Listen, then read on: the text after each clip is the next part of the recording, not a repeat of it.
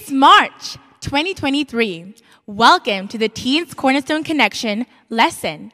In this series, we'll start off with lesson number nine No Laughing Matter. Like, seriously, it's not funny.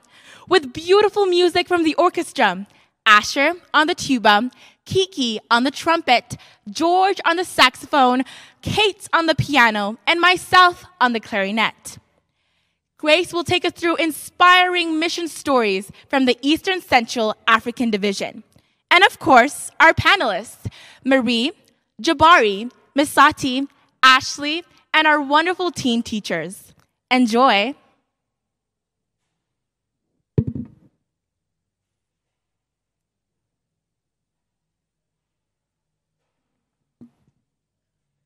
Hello, everyone. My name is Grace Washeke, and I'll be taking you through the mission stories of this quarter. So, here's a spoiler alert all the stories in this quarter will be coming from the country of Rwanda. And before I get into today's mission story, let me tell you a few fun facts about Rwanda. Rwanda is 26,338 kilometers squared, and this makes it the fourth smallest African country on the African mainland. The first three smallest countries being Gambia, Swaziland, and Djibouti. Rwanda has one of the youngest populations on earth. Believe it or not, the average age is 19 years old. The third fact popular sports in Rwanda are basketball, football, and volleyball. And cycling, even though it was considered a mode of transportation, is now becoming a popular sport. And our last fact for today subsistence agriculture is one of the, it's actually the main source of income for the Rwandese people. And their local staple foods are bananas, plantains, which they call ibitoke, sweet potatoes, beans, and cassava. And with no further ado, let's get into today's mission story. Today's mission story is about a boy named Claude. And unfortunately for this guy, he became a habitual drunk when he was just 12 years old. So you may be asking yourself, just how did it get this way? This is because he grew up in a family drenched in conflict. His dad and mom were always fighting, and the mom would many times fight with the mother in law, and whenever this happened, she would go back to her home and spend time with her mother. Many times, she would plead with her husband to move the family to another city but her husband always refused, saying that he didn't want to be far away from his kin. Now, one day, the father, Claude's dad, fell ill, and he was taken to a nearby hospital, but after conducting tests on him, he was taken to a larger hospital since they weren't able to come up with any diagnosis. And when he was taken to this larger hospital and tests were conducted, they found out that he had malaria. He spent many days in the hospital and he didn't really do well. Many people thought that he was actually going to die, but instead of him dying, he started acting weird instead. So his doctor took him to a psychiatric hospital, and then after quite a lot of treatment, he recovered, but the sad part about this is he was left deaf. So after going, you know, getting out of the hospital, he went home, but now instead of his neighbors rejoicing about his miraculous recovery, they started spreading rumors saying that maybe his wife had tried to poison him. This was the last straw for Claude's mother, so she decided to get a divorce. So she went back to her family and left Claude with his father. Then Claude's father sent him to his grandmother, and later on he remarried, and after that he sent for his son Claude to come back home. Now, because of all this conflict in his family, this had really scarred young Claude, and that's why, at the very tender age of 12, he had become a habitual drunk.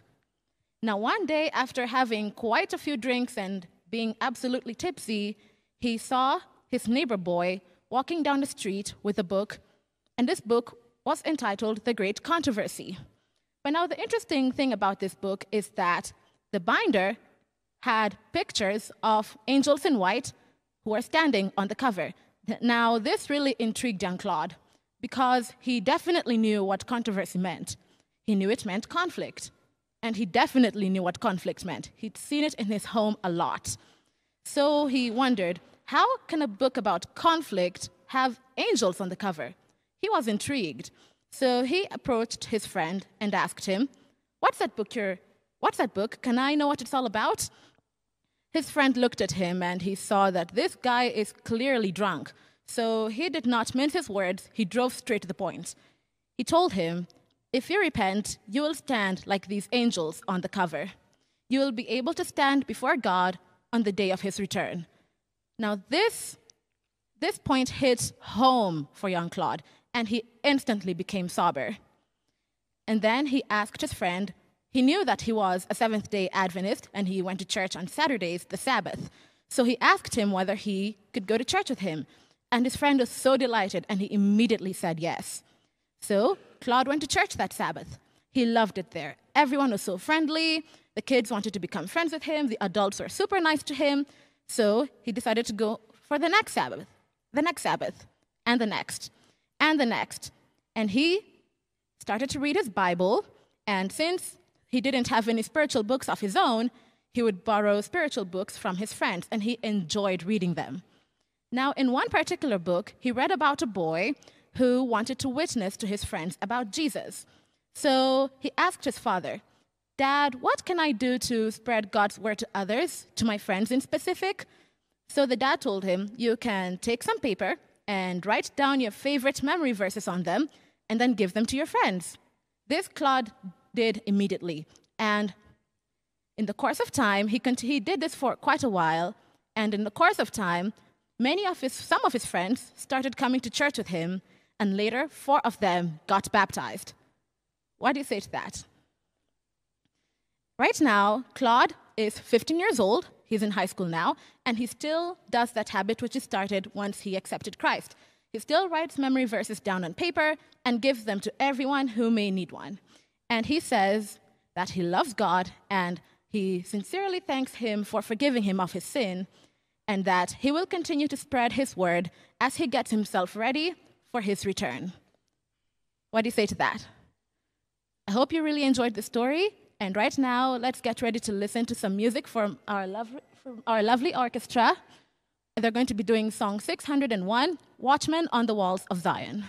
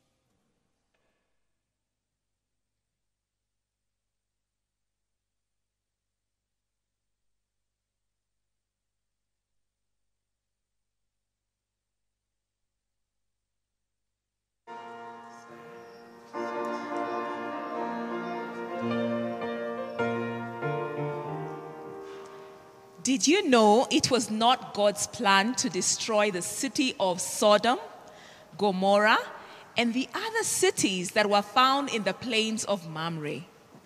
Welcome to today's lesson, Cornerstone Connections, brought to you by the Teens Class Nairobi Central Seventh day Adventist Church. And before I invite the panelists to introduce themselves, I would like to welcome Misati for the opening prayer. So let us bow down for a word of prayer. We thank you, mighty Father, for your goodness, for your love, for your mercy, and for your compassion. Mighty Lord, we come before you this day and we seek that you may open our minds this Sabbath, that we may be able to draw closer to thee, Almighty Father. In Jesus' name we pray and we believe. Amen. Amen. So please introduce yourself. Let's start with you, Misati. As previously mentioned, my name is Misati Nyambani. Hello viewers, my name is Ashley. Happy Sabbath and I hope you enjoyed the lesson. Happy Sabbath, viewers. My name is Marie. Happy Sabbath, my name is Jabari. Welcome to you, our viewers. My name is Bridget. Thank you all. And a happy Sabbath to our viewers. Happy Sabbath. We would like to ask you this morning what do you know about the city of Sodom and Gomorrah? So, to start with myself, what I know about the city of Sodom and Gomorrah is actually that the names were never preserved unto this day. In essence, the names are derived from two Hebrew words that is, Sdom and Amorah. Sdom to mean burnt, and Amorah to mean a ruined heap, thus indicating that which was done unto them. Sodom and Gomorrah was lac- located at the south of the Dead Sea, now known as Mount Sodom. Okay.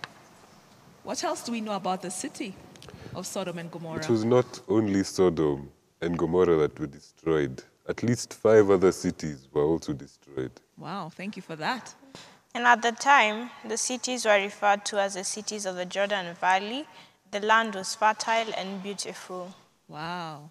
Other than being fertile, the land also had beautiful, beautiful vegetation palm trees, olive trees, you name it. It was a beautiful land. And alongside that vegetation, the flowers give out very sweet fragrances all year round. Do we actually believe that God was interested in destroying this beautiful city with fertile land filled with flocks? Would God really be interested in treating them so harshly and judging them so harshly? Well, today's biblical story is a cautionary narrative and tale that really tells us the dangers of, you know, um, setting your house next to those who will, you know, give you the bad advice. And it also just informs us that once, once that happens, then, then, you know, there are consequences to those decisions we make as humans. So we'll start with uh, Marie. Please take us through the first section of the lesson. So, the first section is the What Do You Think section, and it states a, a catastrophe was going to happen in your town. Rank the following warnings from which you would want to be given first priority. Which would you want to be given last priority? So, I want my father and mother to be warned, my friends, my pets, my someone to warn me. I want my city to be warned. I personally would like someone to warn me first. Then I could warn the rest. Okay. So, um, what about the rest of us? What do we think? Well, I think that my parents should be warned already, so they'll warn me. Okay. What about you, Jabari? Uh, I love to think about that. You'd have to think about that. What about you, uh, Teacher Bridget? Uh, I definitely want my family members to be warned first. It would be so catastrophic to see them perish at, you know, at their own expense. Misati? So, what I would do is I'd want someone to warn me first, then I would take my pet, then I would, I would take my pet with me. Since I think I can't talk to the pet, so let me just take my pet, then I go warn my family, then my friends, then maybe I say, City, you know, disaster is about to come. Okay. So uh, we want to now look at scripture and what it says. Marie, um, what scripture should we be looking at at this point? Um, we should look at Second Chron- Chron- Chronicles chapter 19, verse 10. I'll Right. ask Mr. to read that. Yeah, so Second Chronicles 19:10, and the word of God expressly speaks, in every case that comes before you from your people who live in the cities, whether bloodshed or other concerns of the law, commands, decrees, or regulations, you are to warn them not to sin against the Lord. Otherwise, his wrath will come on you and your people. Do this, and you will not sin. Any other scripture? And yes, and teacher Bridget, would you read Ezekiel chapter 3, verse 18? Ezekiel chapter 3, verse 18 says, When I say unto the wicked, Thou shalt surely die, and thou givest him not warning, nor speakest to the wicked from his wicked way to save his life, the same wicked man shall die in his iniquity, but his blood will I require at thine hand. Thank you. So this tells us that it's our job to warn others, us and all of us, to warn each other. I'll give the example of when you catch someone doing something wrong. If you leave them to do that wrong thing instead of, let's say, telling on them or telling them out, then that you're in the wrong. Yes, so that's very important. We can see throughout our uh, cautionary tale today about Lot that there's a lot of warning that happened because it is not God's intention for you and I to be destroyed. So we want to thank even the teens today for um, joining us online today to do this to ensure that we warn the world that indeed Christ is coming again. Therefore, we should prepare for his second coming and we do not get destroyed. We do not want to be amongst those in the destruction. Jabari, could you please give us a little more insight about this uh, cautionary tale? Okay, let's get into the story. The two angels arrived at Sodom in the evening. Lot was seated at the gateway of the city. When he saw them, he got up to meet them. He bowed down with his face to the ground. My lords, he said, please stand aside to the house of your servant. You can wash your feet and spend the night there, and then go on your way early in the morning. No, they answered, we will spend the night in the square. But he insisted so strongly that they did go with him and entered his house. He prepared a meal for them, baking bread without yeast, and they ate. Before they had gone to bed, all the men from every part of the city of Sodom, both young and old, surrounded the house. They called out to Lot, Where are the men who came to you tonight? Bring them out to us so that we can have sex with them. Lot went outside to meet the men and shut the door behind him and said, No, my friends, don't do this wicked thing. Look, I have two daughters who've never slept with a man. Let me bring them out to you, and you can do what you like with them. But don't do anything to these men, for they have come under the protection of, of my roof. Get out of our way, they answered. This, this fellow came here as a foreigner, and now he wants to play the judge. We will treat you worse than them. They kept on bringing pressure on Lot and moved forward to break down the door. But the men inside pulled him out, pulled him back into the house, and shut the door. The men inside the house struck the men, young and old, at the door with blindness so that they could not find the door. The two men said, Do you have anyone else here who belongs to you? Sons in law, sons or daughters, or anyone else in the city who belongs to you? Get them out of here because we are going to destroy this place. The outcry to the Lord against its people is so strong that he has sent us to destroy it. Yes, and thank you for taking us through that. Um, so, what lessons are we learning from this, uh, this beautiful narrative that Jabari has read, which comes from Genesis 19?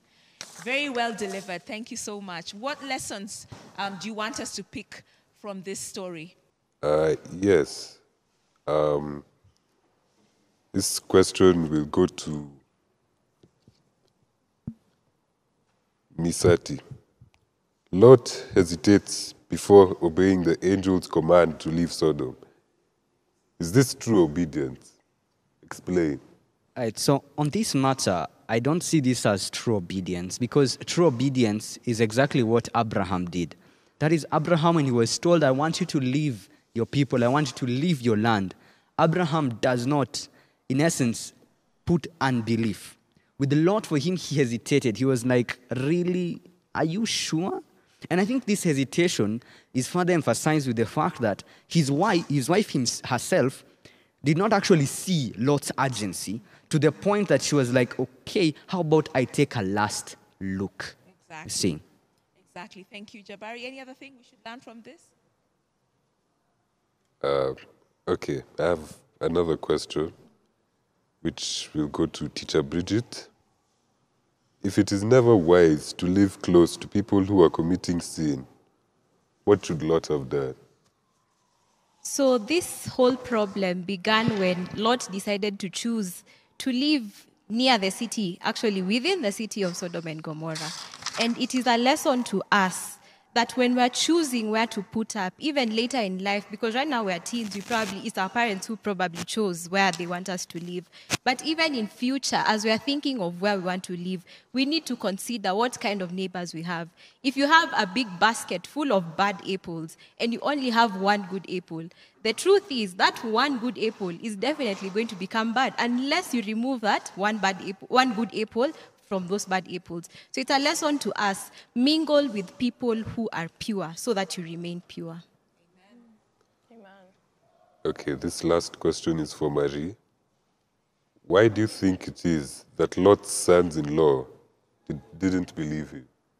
Well, um, this week's scripture expresses the sad reality of Sor- Sodom and Gomorrah and why God destroyed them. His sons probably said, um, Nothing is going to happen here. And you sound so funny with all that God talk. Well, I think that seeing the beautiful city and seeing how perfect it was for them, how comfortable it was for them to live there, they had nothing to, they had nothing to fear. They wouldn't think that God will destroy such a beautiful place. Absolutely. So, how do you respond to God's appeal to you? I'd like to jump in right there and speak about my response to God's appeal. I think I, I feel at times that God is speaking to my conscience on certain matters. That is, when Christ calls us to be perfect, even as our Father in heaven is perfect, I see such a perfection as continuously responding to God's beckoning, in that God will pick some aspect in your life, make you uncomfortable, and then want you to learn something and he won't stop until you learn that thing. In that, he will give you remedials until you pass the class. Thank you. And I'll ask Teacher Bridget to read Acts 28, 26, verse 25 to 29. Acts chapter 26, verse 26 to 29, it says, For the king knows of these things, before whom also I speak freely. For I am persuaded that none of these things are hidden from him. For this thing was not done in a corner.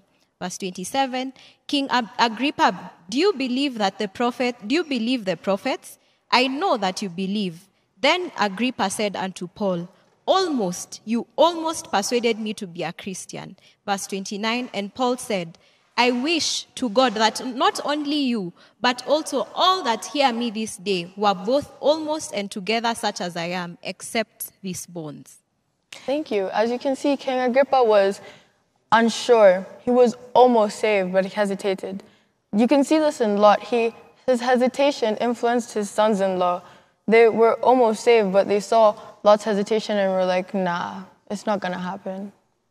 So are there those things in life that you're, you know, God has called you to do, but you're almost there and you're not quite there? Ash? You know, sometimes we postponed our redemption for a later date. So what is that you're postponing? You know, you, you get convicted over something, you're like, um, I need to stop this. But you're like, no, I still like watching this, so I'm not really going to stop. Besides, I can still wait. I mean, I'm not dying today. I, I, I will get forgiven, I'll get saved, I'll stop this thing a bit later. And you notice this in King Agrippa, he said, You almost persuaded me, but wait until a later season. So he postponed his redemption. And you know, the Bible doesn't even record where he came up and, you know, left the things of the world and decided to follow Christ. He postponed his redemption. We don't know whether he died the next day. Okay. We don't know. Thank you for that. What about you, Misati? So I want to jump in right then. I want to say that there's this aspect where the psalmist brings in presumptuous sin, in that we know that what we are doing is wrong, but then we see that God is this good, loving, compassionate Father, and we're like, God cannot destroy me. As in, it's so small. But of course, that's what Ellen White calls pet sins. You see those pet sins, which are so hard for us to let go of, exactly what bring us down. And at the same time, I think it also comes with us misunderstanding God. And I think that God wants us to actually express, to embrace freedom, that is, and to express our love for Him by obeying His commandments. That's why Christ calls us to a more abundant life. Amen. So are there those things even on Sabbath, Friday night, Saturday, that you know you're supposed to keep the Sabbath day holy, but you're almost keeping it holy? Yeah, so I'd like to just jump in right there. And I'd like to mention that that is the best matches usually happen on Sabbath. Oh. That is the EPL matches, of course, the best ones. Football, Yeah, all the sports. practically. And those actually are the most tantalizing matches, the derbies, etc. That right. is. So you're, you know, you're caught up between should Yeah. I watch, should I keep the Should I Sabbath day Yeah. holy? And So, you know, for people like us who are not into sports, we have our social media pages. Yeah. There are updates that are popping on your screen, and you're wondering. At that time, you're in Vespers, and you're wondering, sh- sh- should I look? Should I? Should I text back? Should I respond, or should I just keep focusing? So you know, such things. You're almost keeping the Sabbath. You're almost persuaded. But once or twice, you still find yourself in that setback where you're in Vesper, someone's reading the verse, and you're scrolling Instagram. So. Right, but this is no laughing matter. The warning is out and clear that, you know, when the Lord calls you to obey the command, you should. And you may not get the chance like Lot did, where the angels were dragging Lot and his family, and they're kicking and screaming and taking all the time as they were getting out of the, you know, of the cities of destruction. So it is time for us to heed to the warning and not operate on the almost mode. How about we hear from Teacher Bridget on, you know, one of the beliefs we have as Seventh Day Adventists. Yes, absolutely. So, in the Seventh day Adventist Church, we have 28 fundamental beliefs. These beliefs are wholly based on the Bible, and they help us understand, as Seventh day Adventists, what and why do we really believe what we believe. So, from today's lesson, our fundamental belief is number 11 growing in Christ.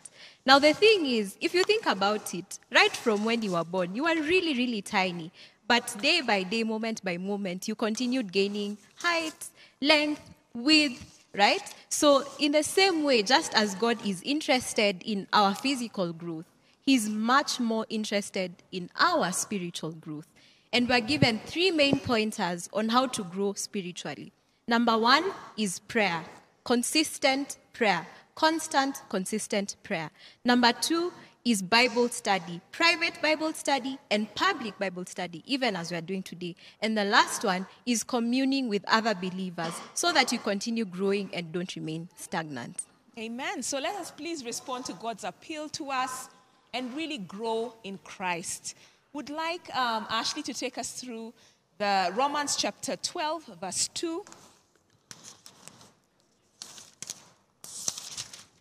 Romans chapter 12, verse 2 says, Do not be conformed to this world, but be transformed by the renewing of your mind, that you may prove what is that good and acceptable and perfect will of God.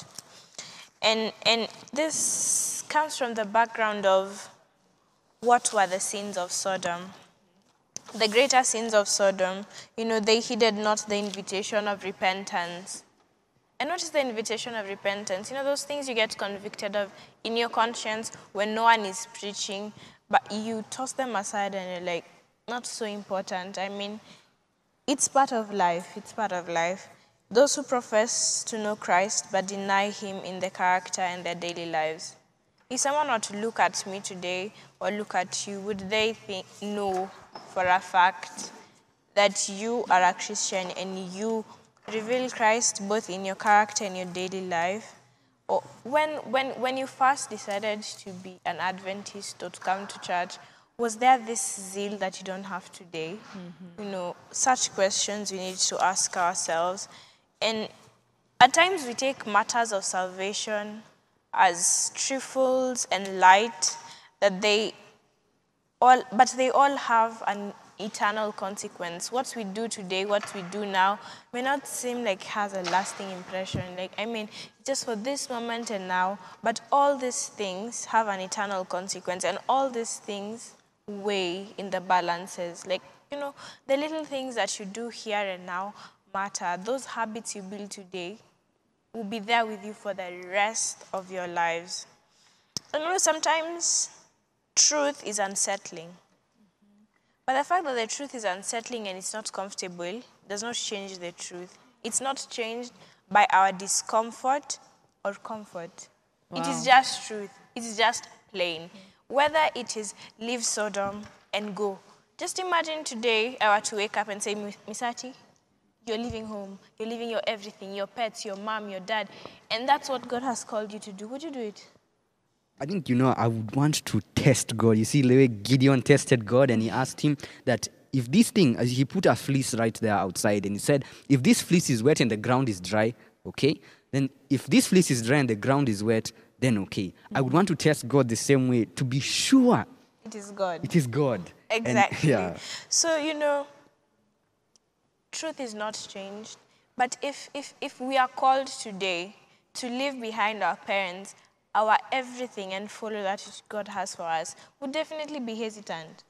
That's true. Because you, want, you, you, we, we most of the time say, you know, Lot's wife was not obedient, she looks back. But think about it this way you have children, and they're in the city, and the city is going to burn. How dare you not look back? Yes, but that's why God says it's no laughing matter. Today, He calls you and I to make a decision to follow Christ. And He has given us so many warnings. And He's not going to rest, He's not going to give up. He's not going to say, well, you know, my people, you know, they'll perish. He is g- constantly seeking us and, and giving us the knowledge we need to just turn to Him and follow Christ. Yeah, so it's it's no laughing matter. We should we should take it very seriously. We should not turn back like Lot's wife did, and we should not hesitate like Lot's did. And it also calls for us then to, as we deliver the news to others, we also should deliver it with seriousness, so that others may listen and actually follow. So thank you so much for that. We would now like to um, get into uh, Matthew chapter 25, verse 40. I'll read Matthew 25, verse 40. Okay. It says, And the king shall answer and say unto them, Verily I say unto you, inasmuch as you have done it unto, of, unto one of the least of these of my brethren, you have done it unto me. Amen. Amen. Yes, Jabari, would you please take us through the Wednesday part? Okay. One of the few bright spots in the story of Lot, Sodom, and Gomorrah is the theme of hospitality. Do you think Lot knew who his two mysterious guests were when he first invited them to his home? No. Is it wise today to invite total strangers to your home? In many cultures, the form of hospitality showed by Lot is expected of all the people. Read the punchlines. Let's go through the punchlines and see which one each of us strikes the most. Okay, so even as we go through the punchlines, Jabari, how about we answer the fact that, um, you know, what's your response to the fact that do you think that Lot knew who these mysterious guests were? No. No? He did not But I think he learned from Abraham because if you read the previous story, Abraham met this same men afar off. He did not know whether they were God. He did not know. But having lived with Abraham, he knew. Like for the Jews and the Arabs, even today, meeting a stranger and giving them a cup of water is part of their Culture. tradition and culture. Mm-hmm. So he might have just learned from Abraham. And also, the Bible records that it was dusk, it was evening mm-hmm. when this man came into the city, knowing the area in which he lived, knowing how those people, look at how they wanted to deal with him at the door because he was not letting them out. So he also knew that he does not live in a safe place, so it would be necessary that this man come in. Okay, you wanted to say something, Misati? And I think the thing is that with Lot, for him, he felt the need to protect these men. Because mm-hmm. I think he had even seen himself firsthand what had happened to men who went into that city and then they stayed in the streets.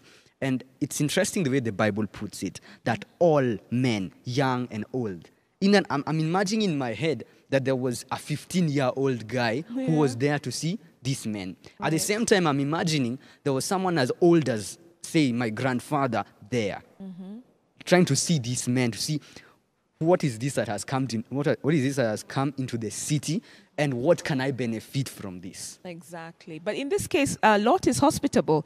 Even his position at the gates, you know, he's, he's like us standing, you know, outside the gate in church and inviting anybody and everybody to actually come in so that they worship with us. Yeah? Yes, Teacher Bridget? I'm afraid that um, that spirit of hospitality has really died down in this day and age. Yes. Because you realize that there's a lot of trickery. So you're, you're not sure if I invite this person, is it a genuine person? Will they come and, you know, rob me of my property? So it is a bit of a challenge. However, we're advised in the Bible that, you know, when you admit strangers into your house, you might find that you've admitted angels into your house. Exactly. So, um, uh, Sodom and Gomorrah were known to have the sin of lack of hospitality. So, today, we- uh, can we be caught up in that sin? Or are we caught up in that sin? I think Teacher Bridget has said very well. How about in the church? What can we do as teenagers in the church to ensure we are hospitable? So, one thing that truly we can do, time and time again, every Sabbath, we get new members, people Yes. who have never been to our church, people who might not even be Adventists. So, as teenagers, it is our responsibility to make sure that they feel hospitable, they feel at home, and they're welcome. And we encourage them, you know, finding out during the week, how are you doing? How was your week? Here is the lesson. Kindly, can you study it? Let's see you next Sabbath. So, th- those are some of the ways we can. Amen. Maria, I thought you'd talk about the teens togetherness Yeah, Sabbath. I was going to. Like when we had Teens Togetherness Sabbath, um, after that, I saw new faces coming consistently Right. and people making friends with them, which encouraged them to stay as well. It's like good peer pressure. Wow.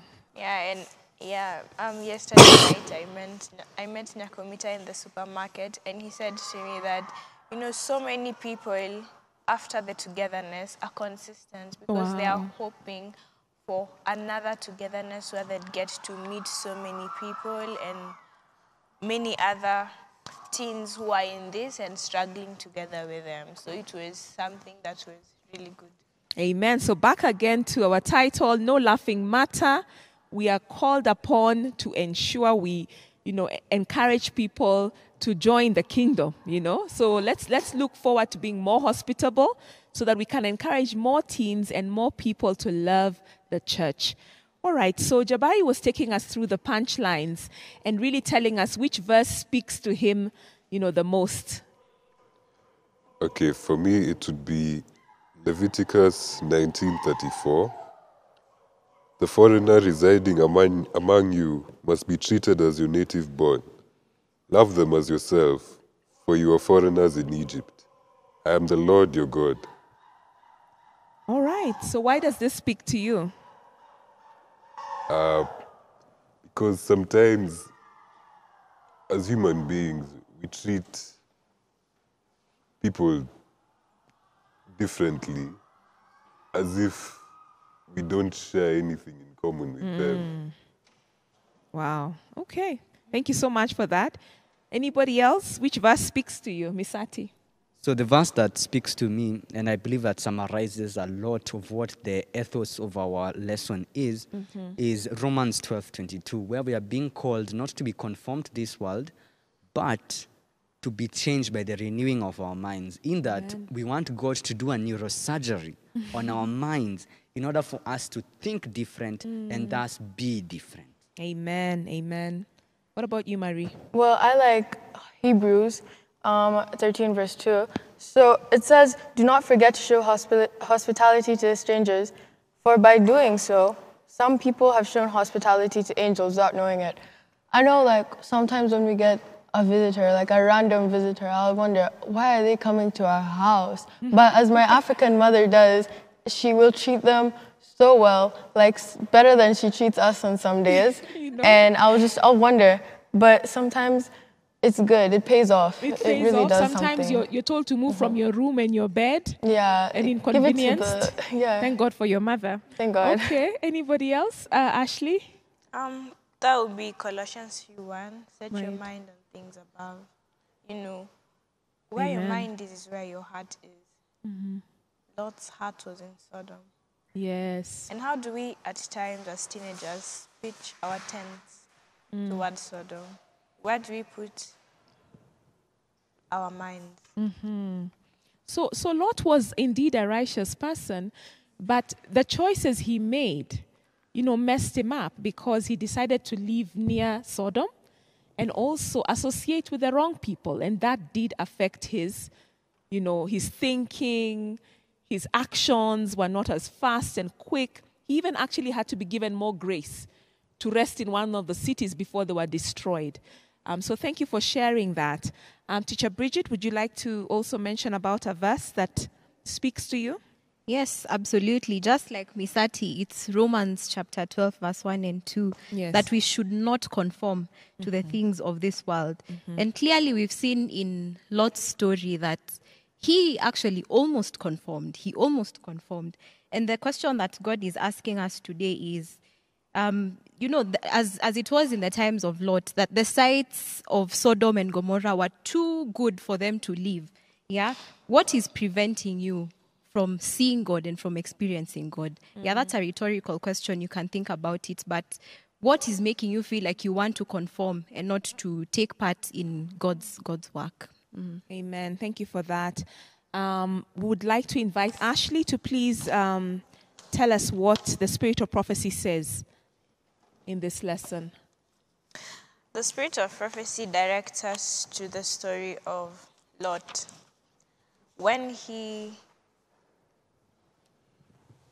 went outside the door and said to this man, I have two daughters. You see, Lot was willing to sacrifice his two daughters for the sake of this man. And it talks about sexual immorality, and it takes us to the story of Bathsheba and David mm-hmm. and Uriah. In 2 Samuel? In 2 chapter- Samuel chapter 11, verse 1 to 5. Yes. And I'd like to read verse 3, which says So David sent and inquired, sorry, from verse 2. Then it happened one evening that David arose from his bed and walked on the roof of the king's house. And from the roof he saw a woman bathing, and the woman was very beautiful to behold. So David sent and inquired about the woman, and someone said, Is this not Bathsheba, the daughter of Eliam, the wife of Uriah the Hittite? Mm-hmm. What was David doing? He was walking on his roof one evening. What is the sin of Sodom? Fullness of bread and idleness. Exactly. What was David is doing? a big sin. Mm. David was idle. That is why he was walking in the evening on the roof. Mm-hmm. Remember, at this time, the Israelites were at war. As a king, where should he have been? At war, At war. Mm-hmm. But where was he? Idle in the roof, On the roof, walking. walking. You know, that does not eliminate the fact that we also need time to sit down, relax, meditate, go walking. Don't walk on the roof, walk on the ground. I think that would be safer. Yes. But idleness, that is how he got himself into this sin, which he later, which was ever before him, and later he said, My sin is ever before me. Mm. Create in me a clean heart, create in me a pure, right spirit within me, that I may not sin against you. Because of all the sins that we could ever commit, this is one sin that we commit to ourselves. Mm-hmm. And even as much as you'd think, well, I made this mistake and it's behind me, it's not like stealing where you'd steal. You stole something, you returned it, you got forgiven, it's out of you. Sexual sin is the one you, you know, sin against it your own body. always be in your memory. Mm-hmm. Always, no matter what you do, unless God creates, create in me a clean, heart, heart, and O renew a right spirit within, Within me. me. That is the only way of erasing these things. So of all the sins, this is the, I would not say the most grievous, but it's the sin that would affect the most.